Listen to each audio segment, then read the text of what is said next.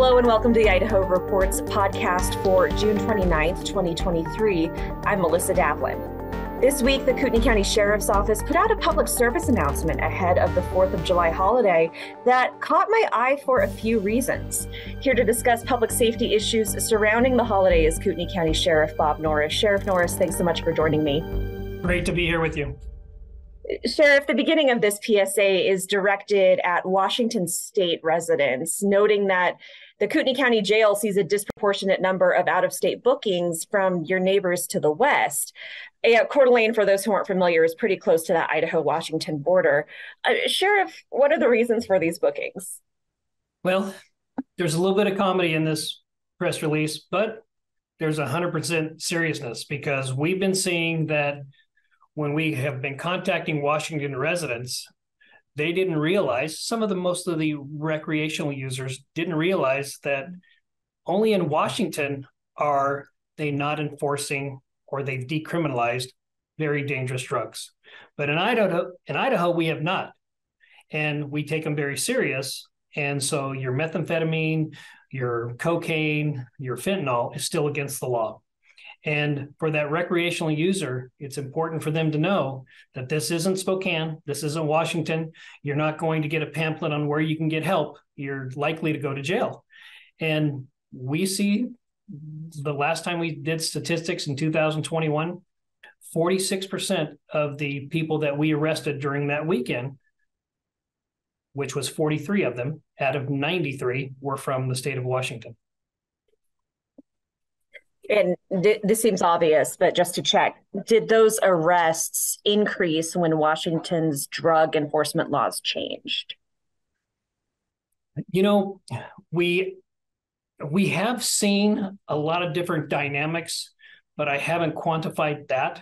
But what we do see within a lot of the criminals and what our intel is telling us and what our undercover operations are telling us is that there is a element of the criminal element in Washington that says, hey, we're not going to go to Idaho because they still enforce this. We'll do a transaction in Liberty Lake. We'll do a transaction on this side of the border, but we're not going to do it in Idaho because if you get caught doing this in Idaho, you're likely to go to jail or prison. So we, we do see that. But as far as exact quantification, I haven't not done that. Are you also seeing an increase in Idaho residents who who are being arrested for possession or trafficking because they're mm, it, it's more easy for them to get those drugs that are that are illegal in Idaho but not in Washington if they just go, you know, over to Spokane Valley? Right. We haven't seen an increase in that. About the same. Now our jail, I will tell you, our jail runs about 500 inmates right now on a daily basis we should be about 361 with my staffing situation. So we do have an increase in inmates, but then again, we're one of the fastest growing counties in the United States. So uh, we're our population is growing by leaps and bounds. Fourth of July is pretty busy for first responders for so many other reasons. How do these arrests impact other public safety calls? It takes away the deputies from doing our normal calls for service, our normal activity load. And then all of a sudden, we're dealing with either petty theft, grand theft, DUI with injuries, uh, driving under the influence with with injuries. Those take a lot of the deputies' times. Um, so, and these aren't just um, to the road, to the water, because we have 18 lakes and waterways here. So many of them are arrested for operating a boat under the influence, and that takes away from enforcing the law and keeping everybody safe. And I think a lot of people don't realize you can get picked up for a DUI on a watercraft, and that's a very dangerous situation, especially when the lakes are as crowded as they are on Fourth of July weekend. I got to tell you that serious injuries, critical injuries, and deaths have a nexus to two things alcohol and or not wearing a coast guard approved vest. If if you do at least or not do one of those things your chances of survival increase tenfold. And if you're doing if you're not wearing a vest and drinking the odds are really not in your favor your county obviously isn't the only county that borders a state with more lax drug laws. Uh, you're a member of the Idaho Sheriff's Association. Is this something that other sheriffs, like in Payette or Latah or Nez Perce counties, also see during July 4th? 100%.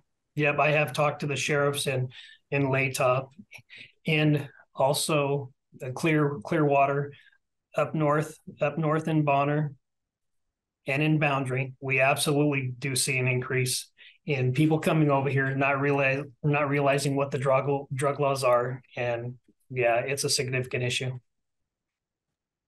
your public service announcement wasn't just directed at Washington state residents. Uh, you also had a pointed message for Idaho lawmakers, and, and I'm going to read directly from it here saying, Attention, Idaho legislature, provide local option taxing authority to the Board of County Commissioners to fund sheriff public safety operations.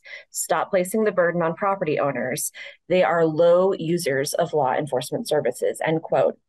Local option taxing authority has been such a contentious issue that a lot of people don't realize, right? It's not one of those flashy issues that we hear about from the legislature very much, but it's been a sticking point for years and years. It's one of the first things I covered when I started covering the legislature in 2011 in Twin Falls. Um, is is this something that you've talked to your lawmakers about? Yes. Oh yeah, we are having a significant discussion within the Idaho Sheriff Association with the 40 three other sheriffs. We are talking to our local legislators about this. And we believe that this is a tool that the commissioners can use because, you know, a lot of people don't realize is that the legislature, every year when they get together, they come up with a property tax equation. And it doesn't matter if you're an urban county or a rural county. Guess what? That's going to be the property evaluation formula, and everybody has to follow it. Well, maybe in Elmore County or Clark County, it's probably okay.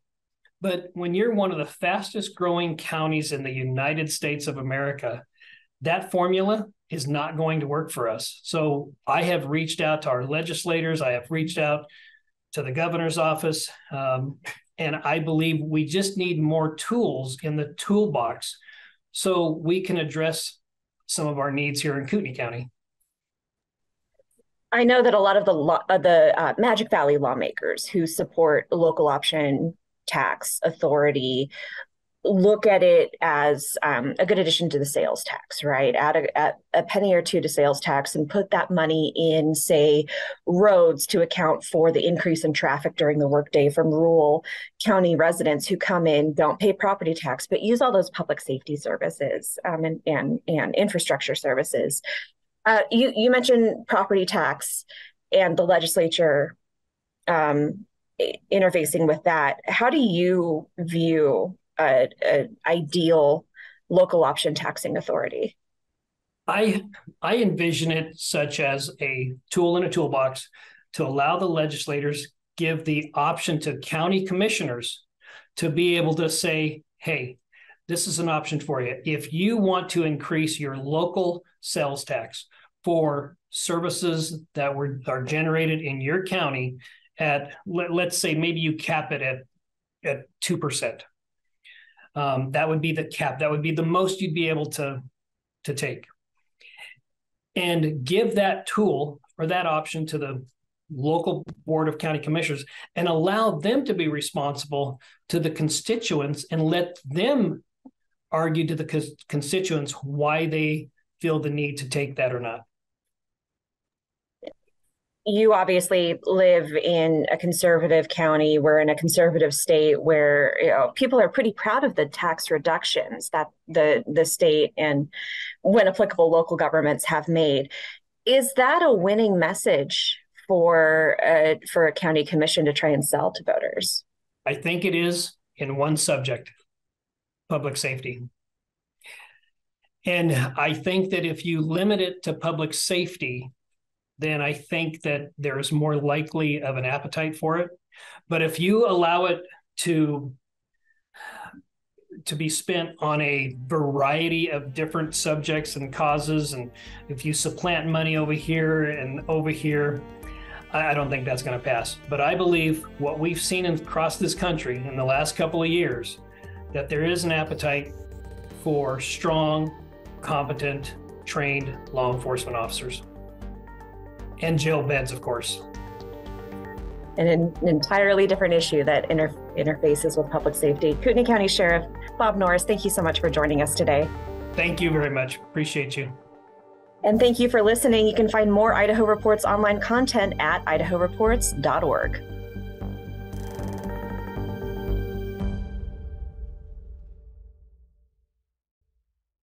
Presentation of Idaho Reports on Idaho Public Television is made possible through the generous support of the Laura Moore Cunningham Foundation, committed to fulfilling the Moore and Bettis family legacy of building the great state of Idaho. By the Friends of Idaho Public Television and by the Corporation for Public Broadcasting. Hi, I'm Marcia Franklin, the producer and host of Dialogue. For more than 25 years, we've been bringing you conversations that matter. More than 150 of those conversations are with writers, and now you can take them with you wherever you go, while you're walking, around the house, or in the car. Just search for Dialogue with Marcia Franklin on Apple Podcasts and other podcast platforms, and remember to subscribe so that new shows download automatically. Enjoy.